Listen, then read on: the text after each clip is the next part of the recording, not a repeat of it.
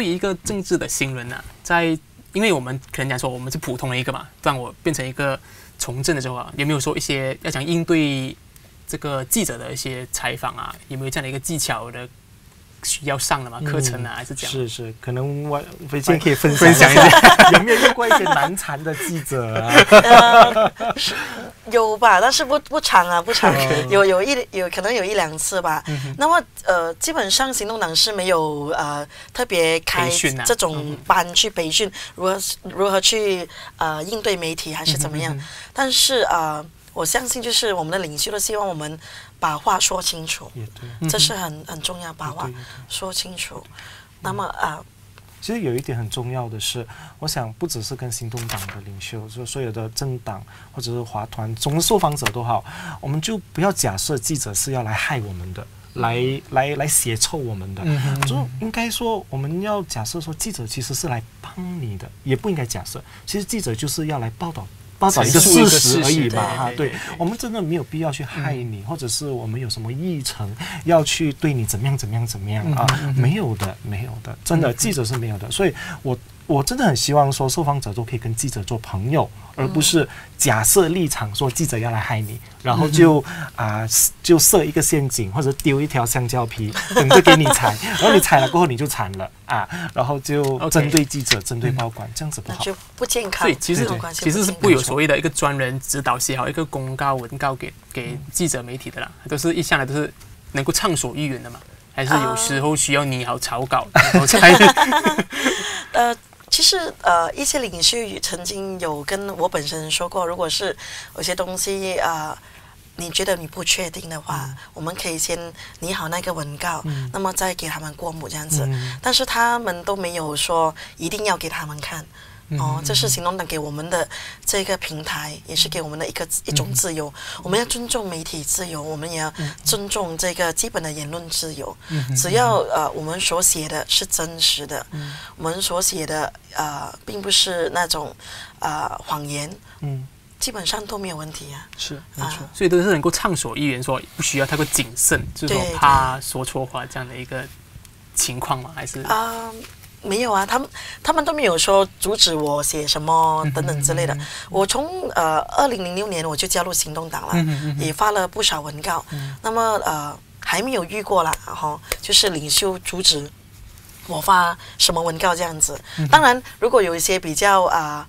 我们说比较敏感的课题，但我发了过后，他们呃有一些会告诉我说：“哎，怎么你会有这种想法？”他们会先要啊先了解啊，为什么我会啊有这种想法？因为我们写的就是我们所想的这样子了。OK，那其实一个政治人物，你觉得应该有讲那个说话艺术？就除了刚才所讲的谨慎之外，应该要怎么样去？最好是能够你好草稿吗？还是有什么有智能团吗？在后面帮他吗？你这样看的话，智囊团几乎每个领袖都有，几乎每个政治领袖都有。但是我想回到那个原点吧，呃，记者不是要来抹黑你，也不是要来害你的党、你的社团、你的什么的。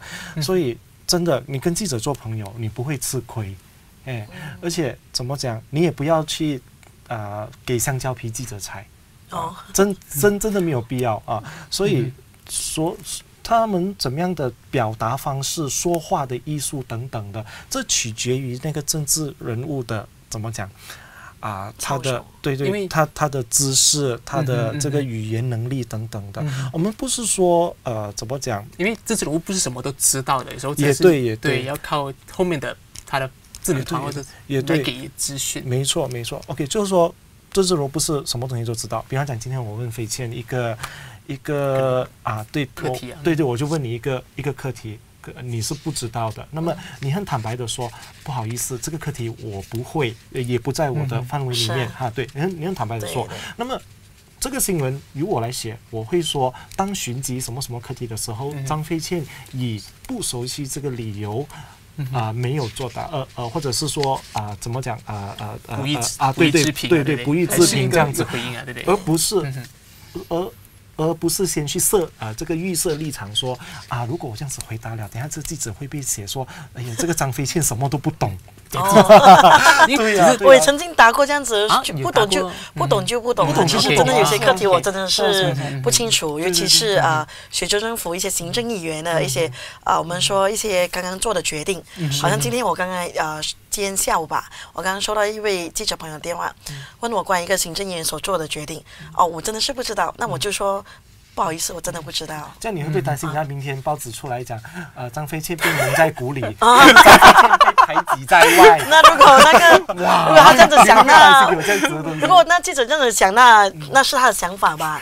啊那是过度诠释了，那又是另外一个话题了，对不对？啊，可能讲被排挤在中心以外，呃，说张飞倩呃不被中央领袖看好，什么这样子，可能会有你太危险了，我觉得我是说千万不要有这种想法了。哦是是。至少呃，如果这个新闻是我写的话，我我绝对不会这样子陷害你了。哦